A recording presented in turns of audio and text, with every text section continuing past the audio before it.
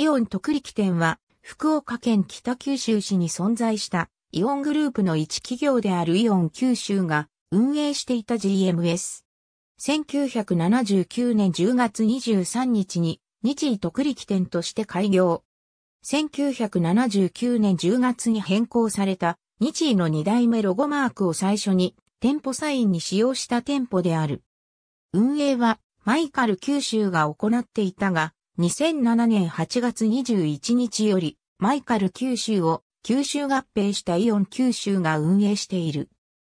2010年10月にイオングループが既存のサティ並びにジャスコの店舗ブランド名を順次イオンに統一することを発表し、イオン九州では2011年3月1日に同社が運営するサティ、ジャスコのほとんどの店舗を一斉にイオンへ名称変更することを発表しており、当店は特力サティからイオン特力店に名称変更した。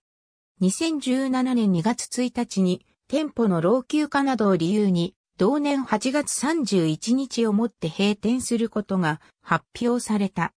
九州内でイオンに転換した旧先店舗が閉店するのは当店が初となる。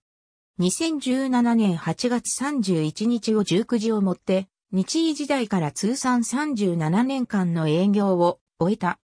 建物は解体され、跡地は3リブが借地して屋上駐車場付きの平屋の建物を建設し、2019年に食品スーパー、マル食、新し森常店を開業している。テナントとして、ダイソーここからファインが出店している。特力サティに関するカテゴリー。ありがとうございます。